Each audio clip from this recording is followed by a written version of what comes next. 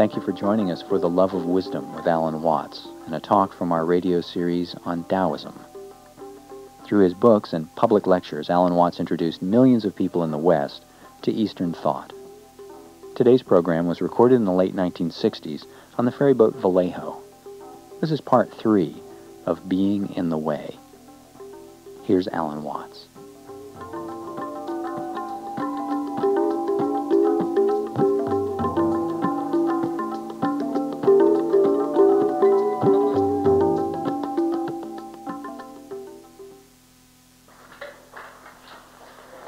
Once upon a time, there was a Chinese farmer who uh, lost a horse, ran away. And all the neighbors came round that evening and said, That's too bad. And he said, Maybe.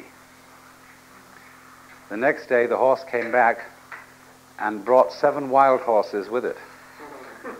And all the neighbors came around and said, Why, that's great, isn't it? And he said, maybe.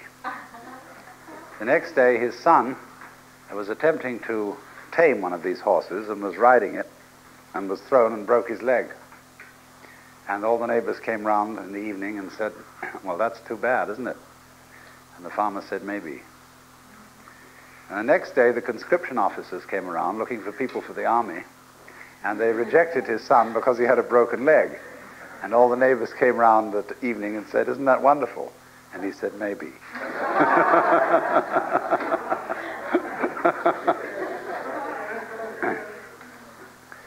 this, in a way, in a certain sense, reflects a fundamentally Taoistic attitude, which is that the whole process of nature is an integrated process of immense complexity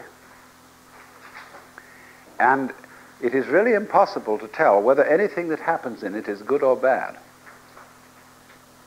Because you never know what will be the consequences of a misfortune. Or you never know what will be the consequences of good fortune. I know a woman who was quite happy until she inherited two, two million dollars. And then she became absolutely miserable because she was afflicted with paranoia that everybody was going to take it away from her, especially the government. And on the other hand, you've all known cases where some sort of ridiculous inconvenience or accident uh, served, preserved you from a worse one, or else it was an occasion on which you met someone you fell in love with or formed a fast friendship with. You never know what is the chain, uh, the pattern, the connection uh, between events. And it is for this reason that the Taoist has been critical of two things one of words, and two of interference. He criticizes words because among uh, the Confucians, who were always literary people, they had a thing going called the rectification of names. Now, I have to introduce this uh, by a little observation about Confucians in general, because uh, they have their positive and their negative side. But their negative side is their rather exclusive interest in matters literary. In the history of Chinese civilization, uh, no kind of really scientific uh, advance came through Confucian studies because they were scholastics. They were, that is to say, a scholastic is one who knows what's in the book and believes what the ancient texts or the ancient scriptures say, and he studies them and becomes proficient like a rabbi or a Christian theologian. But mystics are not interested very much in theology. All mystics have been interested in direct experience. And therefore, although you may laugh at them as mystics and say they are not scientific, they are empirical in their approach. And the Taoists, being mystics, were the uh, only great group of ancient Chinese people who seriously studied nature. They were interested in it from the beginning, and their books are full of analogies between the principles of the Taoist way of life and the behavior of natural forces, of water, of wind, of plants and rocks.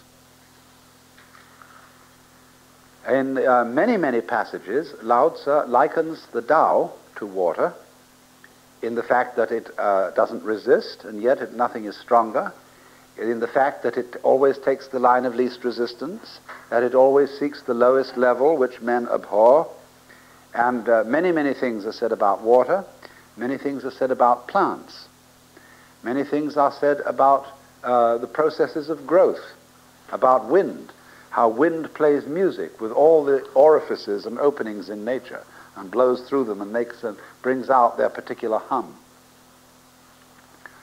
So it was, strangely enough, from the Taoists that Chinese people developed as much science as they did develop. But you know, they never developed anything like Western technology. And this is because, or in part because, there are many, many reasons, some of them purely geographical. But one of the reasons why the Chinese did not go on to develop an advanced technology had to do with names and it had to do with a certain attitude to nature. Now, so far as names are concerned, the Taoists always laughed at the idea of the rectification of names because they said, now look, when you compile a dictionary, you define your words with other words. Now, with what other words are you going to define the words with which you define the words? So as to be sure you've got them straight. I remember when I was a small boy, I wanted to write a book which would preserve forever the fundamentals of human knowledge. And so the first thing I wrote down in it was the alphabet. And then I scratched my head as how I would write down how to pronounce each of these letters. And I tried to spell out in letters how to pronounce letters, not realizing, of course, that this was a completely vicious circle. Uh, you have to have something in order to understand words, you have to have something else. And that is a very mysterious matter, the kind of understanding that we have of things, which we then go on to describe in words. And one realizes how much one learns as a child, especially from other people, which is never explicitly stated. How do you know, for example, whether somebody who says something to you is serious or kidding? A great deal of confusion is caused by that, even among adults. And how uh, the, the processes have been examined and analyzed and studied, which are required for understanding the simplest sentence. And we don't yet know how the brain of a child accomplishes this extraordinary task, which when uh, an analyst looks at it is extremely complicated. But of course, you must realize that analysis is a way of making things complicated that were not complicated in the first place. And it was like my task that I set myself as a child, the amazingly complicated task of how to write down how the letters were pronounced. Now, a great deal of academic energy goes into this task of uh, proving things that everybody knows. But they want to say precisely what thing is it that you know? How can we delimit it? How can we pin it down exactly? And this, of course, is very much involved also with law. And that's why uh, you devise, bequeath, and, uh, you know, you get a whole long list of words uh, I devise, bequeath, give, etc., etc., so that there can be absolutely no doubt about what you mean. But as a matter of fact, the trouble is, the more definite you become with words in describing something, the more doubt you create. And so the Taoists took a profoundly humorous attitude to the, to the Confucians' interest in spelling things out. Because they said you can never do it. Do you ever play a game, any of you, called Vish?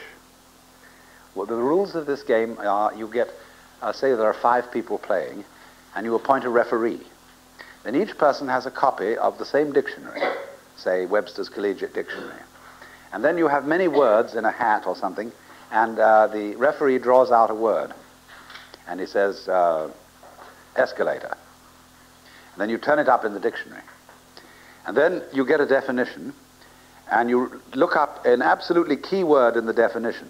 It has to be a really crucial word, not the or a or something. And then you look that up. And then you take a key word in that definition. And then when you get back to the word escalator, you raise your hand and call out Vish, which is short for vicious circle. and thereby you have won the round, and the referee is there to decide uh, that you played fair and that you did take key words from each definition and so on, and you didn't cheat. So uh, this shows you, you see, how a dictionary, unless it has little pictures in it, uh, which uh, give you another way of understanding things. A dictionary is an entirely circular process, a simply a self-defining affair. So that uh, when you encounter, say, I pick up a, a Chinese dictionary, or better still, for my purposes, supposing I pick up a Finnish dictionary, which has nothing in it but Finnish language, it doesn't tell me a thing because I haven't got the key. And the key to this language uh, is not altogether communicable in language. So for this reason then, the Taoists being, uh, th- was thoroughly skeptical of the power of words to describe the processes of the physical world. Now the Chinese language as such is a rather peculiar language, unlike most other languages, in that it neither declines its nouns nor conjugates its verbs. There are certain ways sometimes of showing whether a verb indicates the future or whether it indicates the past. But in general, literally translated Chinese reads like a telegram. And so uh, the opening of the chapter of the Lao Tzu book on de, that is to say on uh, power or virtue, uh, says in literal English, superior de, not de. Thus this has de. Inferior de, or virtue, not let go of virtue, thus this not virtue. And this says it so succinctly. And we have to go bubbling around and saying, the superior form of virtue is not conscious of itself as virtue, and thus truly is virtue. But the inferior form of virtue so insists on being virtuous that it's not virtue. But that's a very complicated way of saying things, as the Chinese says it so pithily. And so, uh, but on the other hand, uh, the, the, the Chinese language, which is not specific in this way that we can be by declining nouns and conjugating verbs, exactly what, how, and to whom, uh, we Uh, are, have a better language, and so do the Japanese, because they have an arrangement for using Chinese in such a way as to decline the nouns and conjugate the verbs. We have a better language for describing technological processes. You know how it is when you get a set of instructions to put something together. First do this, then do that, then do the other thing. Well, boy, you should get some kind of a Chinese product from Hong Kong with put together instructions. And uh, you, you're just nowhere. You have to know how it's done before you read it.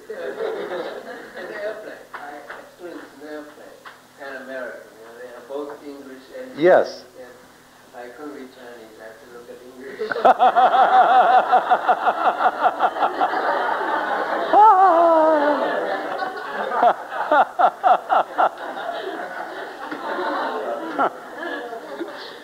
English. So, uh, you mean on these sort of emergency instructions? Yes, yes.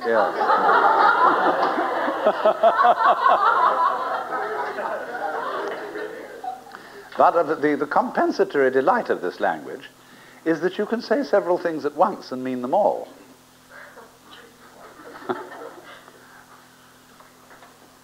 and, uh, however, the point now that we go on to is the second one. Uh, with this realization that language is a net which will never succeed in capturing the world, goes a reluctance to interfere with the processes of nature. Because what you think may be a good thing to do may be good only in the short run. It may turn out to be disastrous in the long run.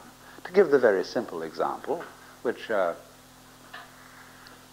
is very close to the hearts of all Chinese and Asian people, the problem of population. What on earth are we going to do about that?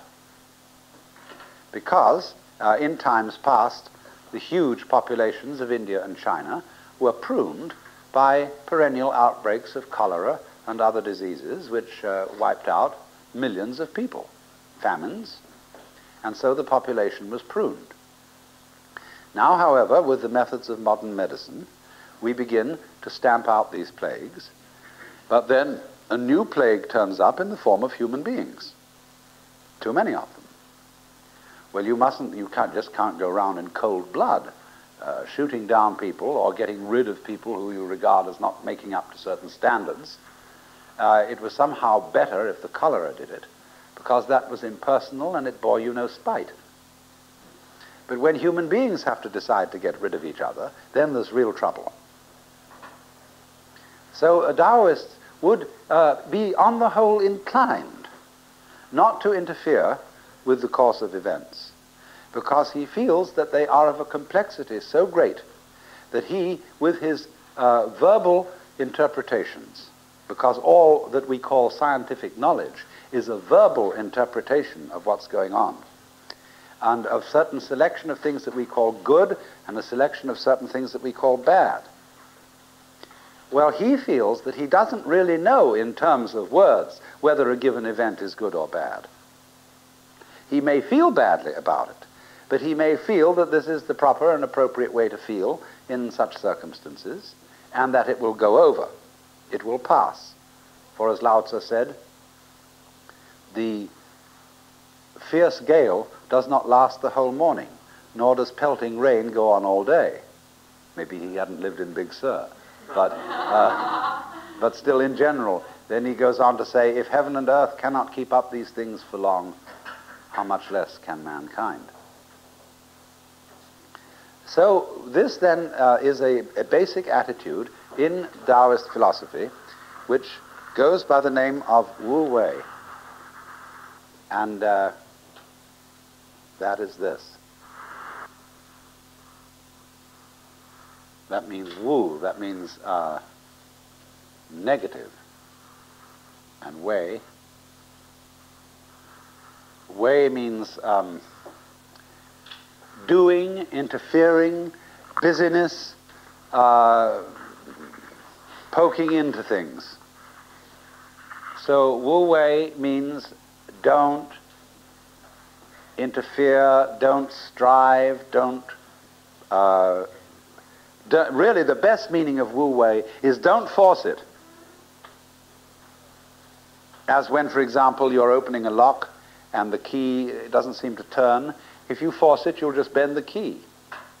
So what you have to do is jiggle, pull back and forth, jiggle, jiggle, jiggle, until you find the place where the key turns. And that's Wu Wei.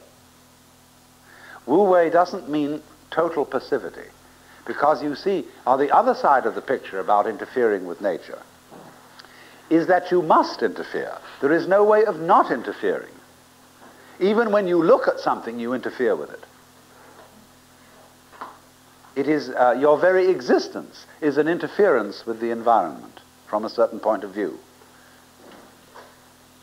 So there you are, you're stuck with it. Everything you do alters the balance. Even if you sit perfectly still, you're still breathing.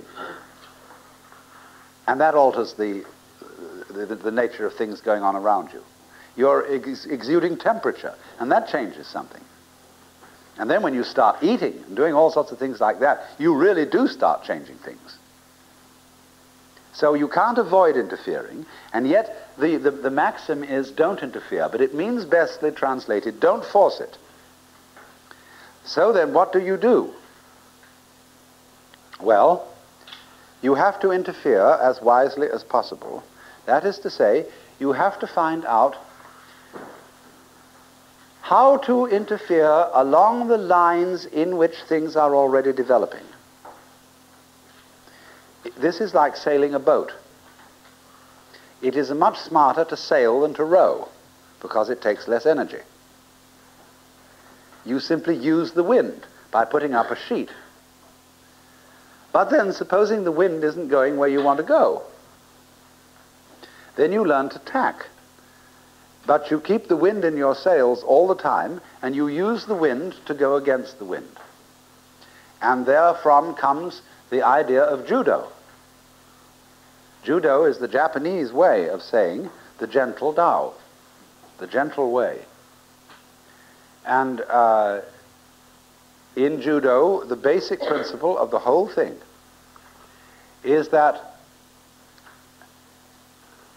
you are not an attacker. The underneath Judo is a deeper philosophy called Aikido, the way of Aiki. And Aikido is that you can never be attacked because when somebody attacks you, you're not there. Or you are there, but in the form of a vacuum. So that the attacker gets sucked in so fast by his own force that he falls over. So in judo, one always uses the strength of the opponent to bring about his downfall. You may add your own strength at a certain point. In other words, when you're throwing someone in judo, uh, there is a point when his own strength has taken him beyond the peak. Uh, you know, when the thing is falling over, it reaches a certain peak where it's gone. You see, it's, all, it's on the way down. It is at this moment that you add your strength and saying, wowie, you see. When there's a curious throw in judo where you, are, you get a fellow, you've been holding him, and you get him up on your foot like this, you see, and then he is moving uh, in this direction. So just when he's off balance, you whoops with your foot like that and send him way over on the floor in that direction. But he has to be beyond the falling point, you see, and then only do you use your strength. Because all you've done now in executing this throw was that you fell backwards with your own weight, and he was pushing at you. You see, at a moment when he was pushing at you like that, it is entirely opportune to put your foot up and fall over backwards, and whee, he goes way over. And that's quite a throw to get involved in, I can assure you. but judo, you see, is a development uh, out of the Taoist philosophy by probably Japanese people. Judo is relatively modern. but um, it comes out of all sorts of understandings, going back uh, to Chinese ways of doing things and gradually amalgamated into the form in which we know it today. But it is a basic demonstration of this principle of Wu Wei, which Jafu has written in now in cursive characters. so it isn't an attitude of total passivity. It isn't just doing nothing, as it literally says, not do, but it's really not force. So you need always, in every situation, to find out uh, which way the wind is blowing. Trim your sails to the wind. This is the meaning of it. Well, now then, how do you know which way the wind is blowing? Uh, obviously, a scientist would say to you, well, we have to make a very careful analysis of the situation and find out just what's going on. And uh, then this becomes extremely interesting because now uh, scientists are doing this very seriously and they have devised uh, the very important science that we call ecology. And in ecology, we study the whole complex of relationships which lie between any organism and its environment. And when we get to the ecology of mankind, it is simply fantastic. When you study, for example, the ecology between man and the world of microbes, and you try to decide what are good guys and bad guys among the microbes, how to get rid of the bad guys without getting rid of the good guys, and then realizing you need some of the bad guys, otherwise the good guys fall apart. And uh, some of the killers we use uh, are on the, the level of medicine, very much like what DDT is on the level of agriculture. It's too indiscriminate. And it gets too many of the good guys along with the bad guys that you become after a time very doubtful as to the precise definition of a good guy and a bad guy. Because you see, every group, every species has to have an enemy. That's part of the whole mutual eating society arrangement of life. If you don't have an enemy, then you start multiplying too much. Nothing prunes you. Then you start getting in your own way because there are too many of you. You start eating up your, all your own supplies of foodstuff. Also, you get soft. You're not on the qui vive. You develop flabby muscles because you never get involved in a fight. And uh, so gradually, the successful group fails. The, the group which managed to obliterate all its enemies will fall apart. But that's the way things run. And uh, the question is, uh, you see, can we run the human race without awful bloodshed and murders and tortures and all that kind of thing? Can we somehow introduce a new kind of gamesmanship as a substitute for war?